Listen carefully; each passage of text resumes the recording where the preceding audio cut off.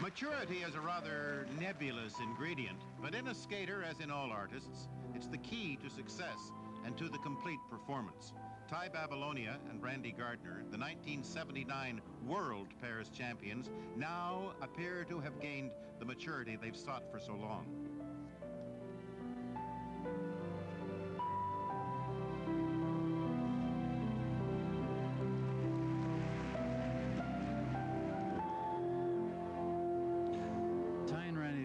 three years in the Ice Capades and are now freelancing, and I sense a much more relaxed attitude towards their skating.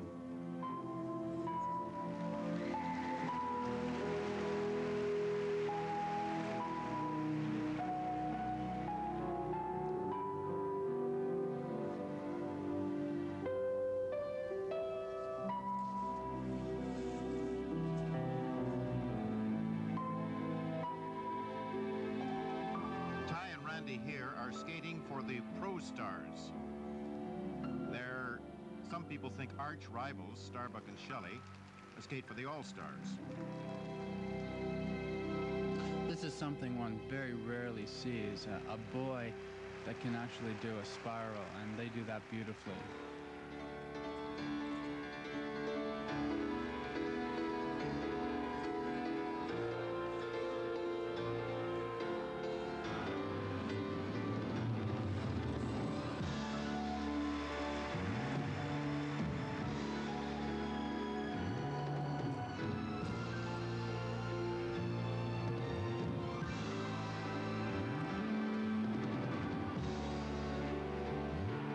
probably more than any of the other pairs, the emphasis on this particular program is one of technique.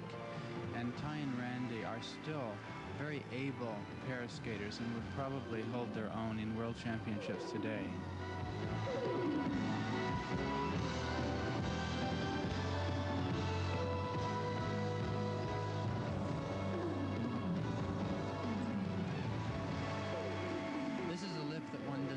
see amateur competition, uh, it's an illegal lift, and, uh, and yet an impressive one in exhibition.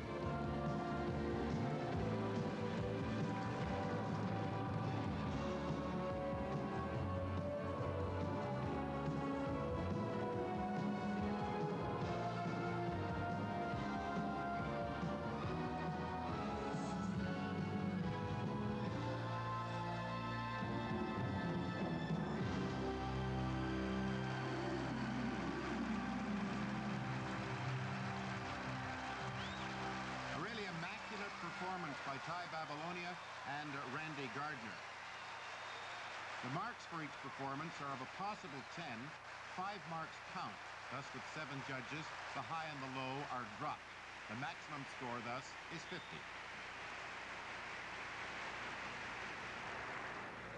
The scores for Tom Babilonia and Randy Gardner.